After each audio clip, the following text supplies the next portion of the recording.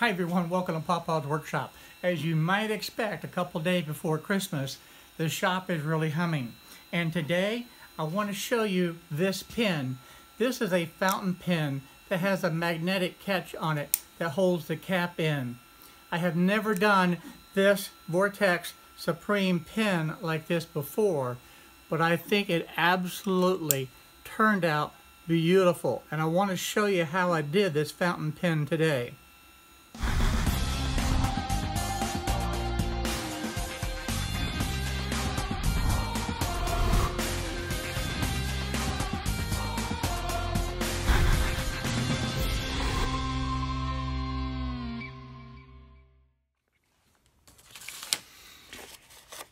Okay, today I'm making the Vertex Supreme fountain pen kit.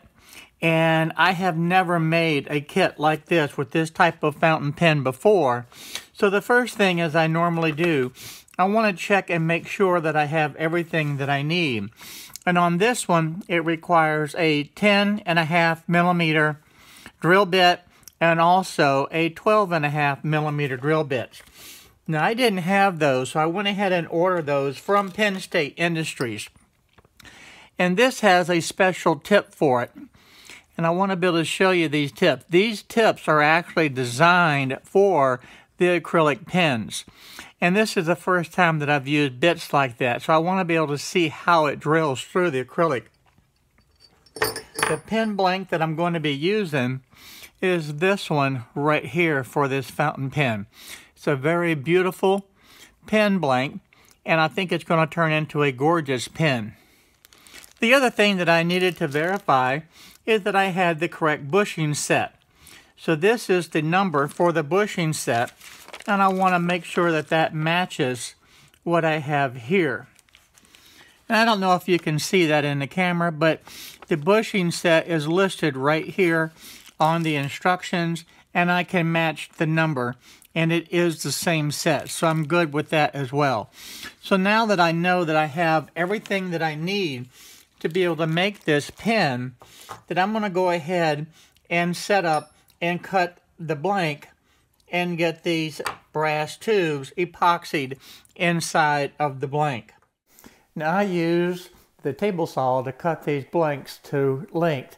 And I know a lot of people use the bandsaw, but I find that I can get a cleaner, straighter cut using the table saw. And I've cut these blanks just a little bit long.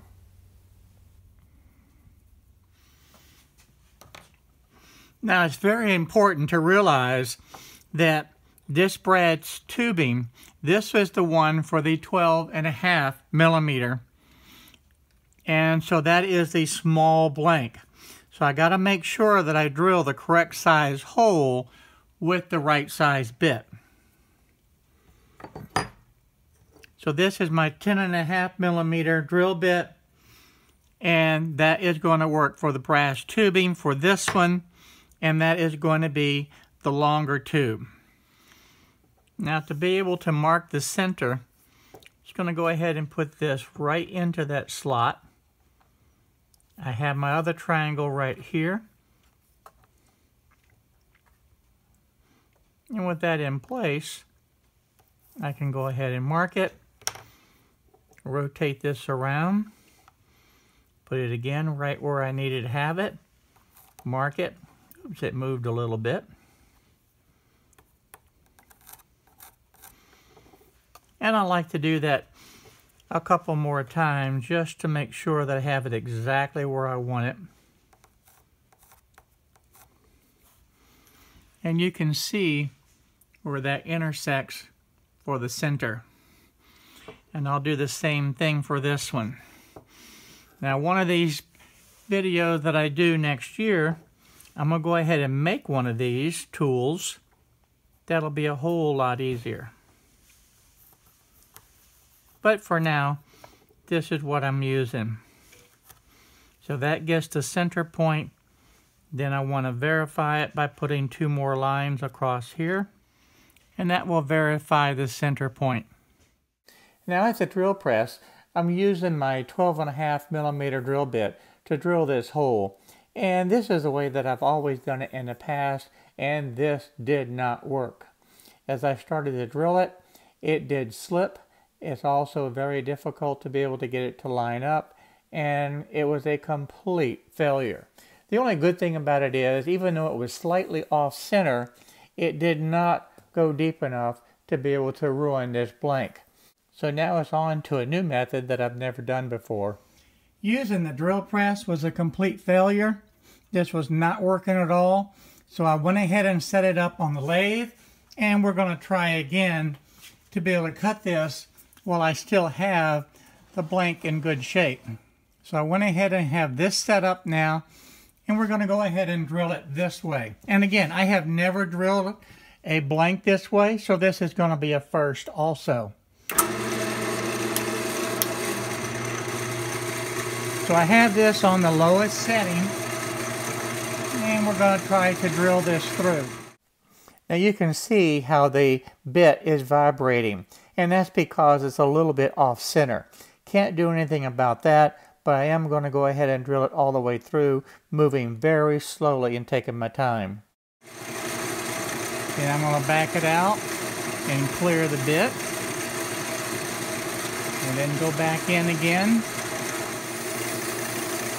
the good thing I want to check, these bits are not hot, and that's the other thing that I wanted to look at. So it's not melting the resin. So it's all the way through. We're backing this out now. Okay, I've got the bit completely removed now, and I'm going to go ahead and remove the blank from the um, from the lathe. Now this seems to be a complete success and I really like this method and I think I'm going to start using it more and more. But the important thing here is that it was a little bit off center and, the, and you can see that in the video and that was from the drill press, not the lathe. And that's why the bit was vibrating just a little bit as I was drilling through. Now it's time to go ahead and set up the second cut. And I'm going to go ahead and change the drill bit first and set this drill bit aside.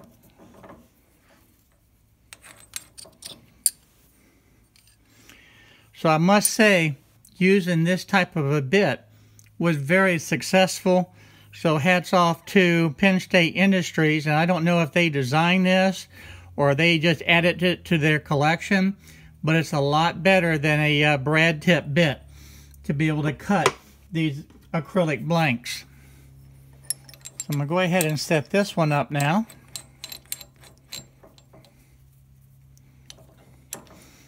And one of the things that you want to do, you want to tighten this so that it's even from multiple sides. All right, so that is set. Now I want to go ahead and get the blank installed. And again, we'll tighten it from both sides so that it's even.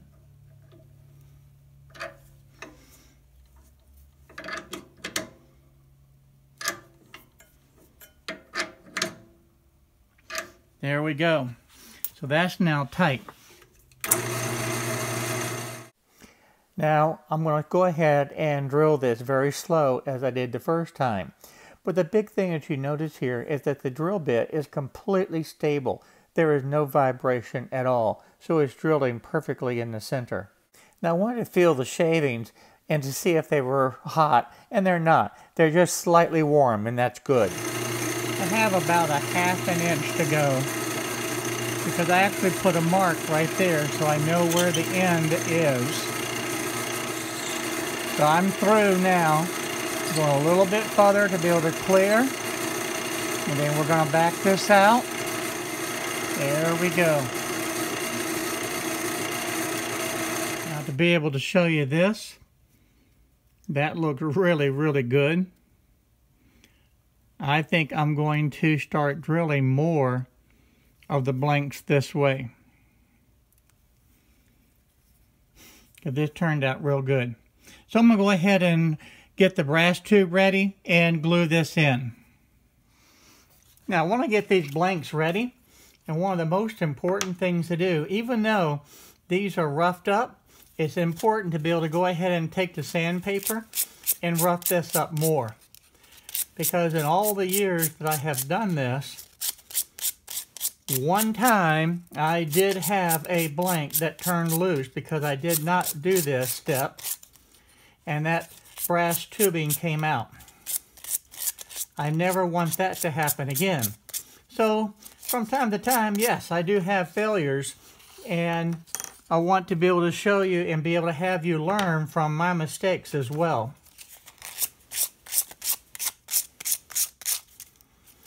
So by being able to rough up this brass tube, it makes it where the epoxy has something else to be able to grip to. Now that looks real good. I'm to go ahead and mix up the epoxy and we're to get these blanks taken care of. Now I've said this before but I'm to say it again. Just because this is the five minute epoxy, I go ahead and let this usually sit over at night or at least let it sit for a good 10-12 hours before actually using it.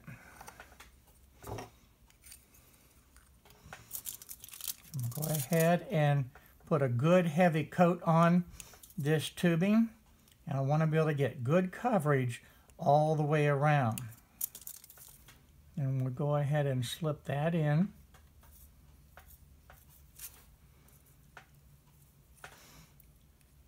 Now I want to push it all the way through. And I want to push it out the other end because just by putting this blank in, a lot of the epoxy comes off of it. And I want to make sure there's a really good coat of epoxy on all surfaces of this blank. Now I've got the blank set up on the lathe now with the proper bushings and I'm just taking this very slow on a very slow speed to begin with. To remember that first blank, the small one, is actually off center and I need to go ahead and get it turned without having the speed too high. Now then, once that's done and it's now round, I can increase the speed and be able to go ahead and turn this. Again, slow, deliberate passes is what I want to be able to do. And I think it's really turning out pretty.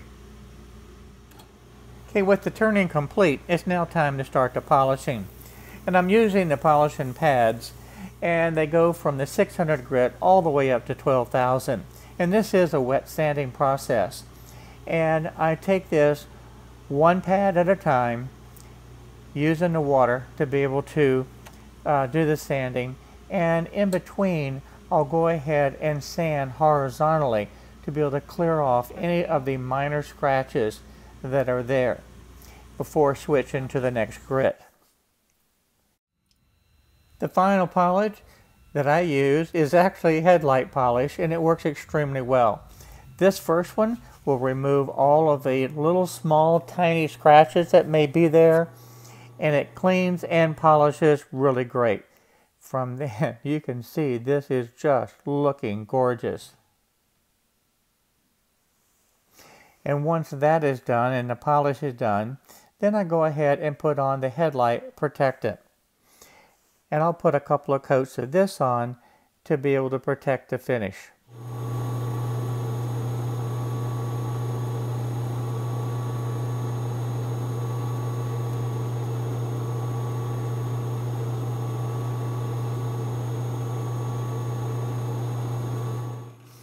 Then the last thing that I do is I'll take a buffing cloth and just go ahead and buff the pen blank and make it just really shine.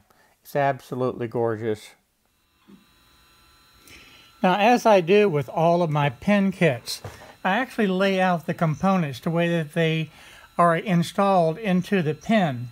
And this one actually is a very easy, straightforward pen kit to be able to assemble.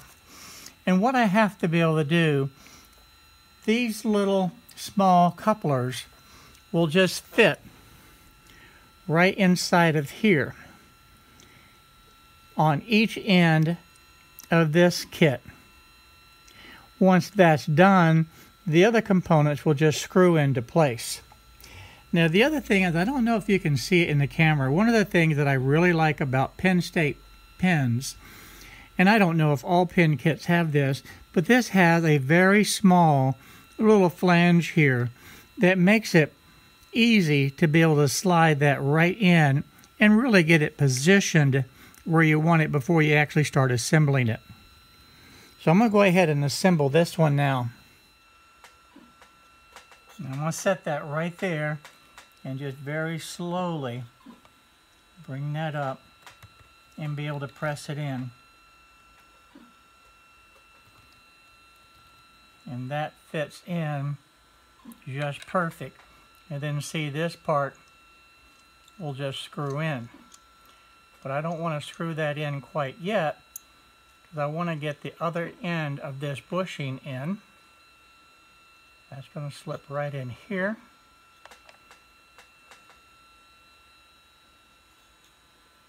And I want to make sure it goes straight in. And that just slides in. That is perfect. Now then, the next thing that I'll do is just go ahead and screw this part in. Now since this is a fountain pen, it has these cartridges. And I'm not going to do that yet, but this cartridge has this little uh, tip here that actually will slide into this fountain pen and it will puncture that center part and allow the ink to flow down into the tip. But I'm going to let the owner of the pen do this. I'm not going to do this part.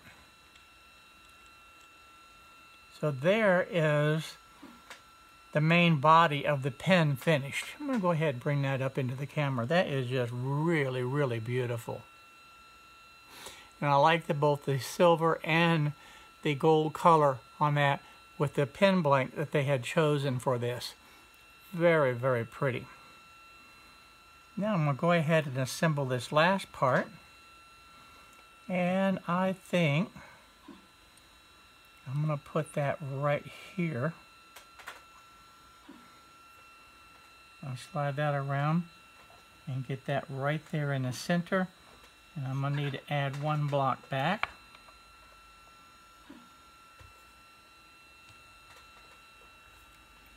And we're going to go ahead and start sliding this part in.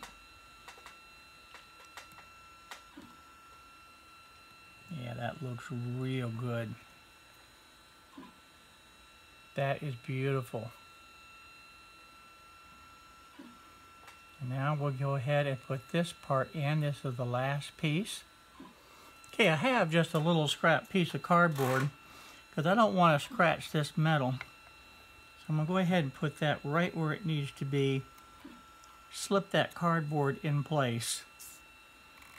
And then we'll be able to push this right into its home position.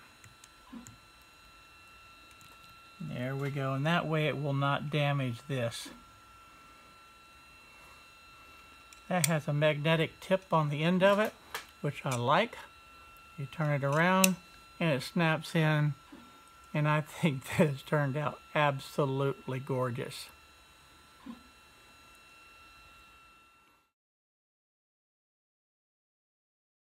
Hi everyone, thank you for watching my video today. If you like the video, please go ahead and hit the subscribe button down below and the little bell next to it so you'll be notified on the different videos that I upload. Also check out the videos over here to be able to stay up to date on the happenings in my shop. So again, thank you for watching my videos.